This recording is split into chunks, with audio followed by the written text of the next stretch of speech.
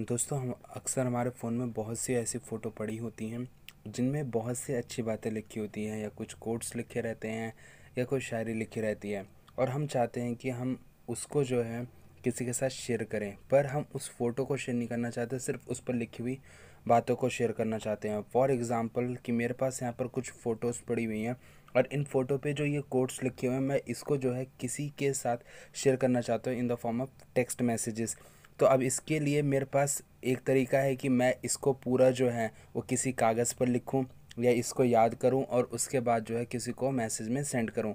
लेकिन आज की इस वीडियो में मैं आपको बताने वाला हूँ एक ऐसा तरीका जिसकी मदद से आप जो है सिंपली इस फ़ोटो को टेक्स्ट में कन्वर्ट कर सकते हैं और वो भी एक सिंगल क्लिक में। तो वो कैसे कर सकते हैं, वो मैं आपको बताता हूँ। इसके लिए आपको एक ऐप को डाउनलोड करना होगा, जिसका लिंक आपको डिस्क्रिप्शन में मिल जाएगा। ऐप को डाउनलोड करने के बाद आप जैसे इस ऐप को खोलेंगे तो आपके पास कुछ ऐसा इंटरफेस आएगा, जहाँ पर आपके पास बहुत सारे ऑप्शंस आपको दिखेंगे।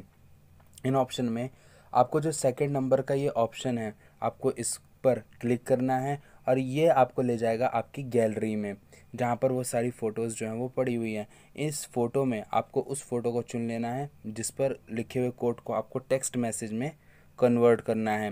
तो जैसे फॉर एग्ज़ाम्पल कि मैं यहाँ पे इसको जो है वो चुन लेता हूँ। यहाँ पे सिलेक्ट करने के बाद आप देख सकते हैं कि एक सिंगल क्लिक के बाद आपको जो पूरा का पूरा जो है मैसेज वो आपको यहाँ पे लिखा हुआ मिल जाएगा। आप चाहे तो यहाँ पर इसको डायरेक्टली जो है सिलेक्ट कर सकते हैं, उसके बाद कॉपी कर सकते हैं। चाहे तो आप इसको यहाँ से शेयर के ऑप्शन पर क्लिक कर कर भी जो है, वो मैसेज में या व्हाट्सएप पर इसको जो है वो शेयर कर सकते हैं।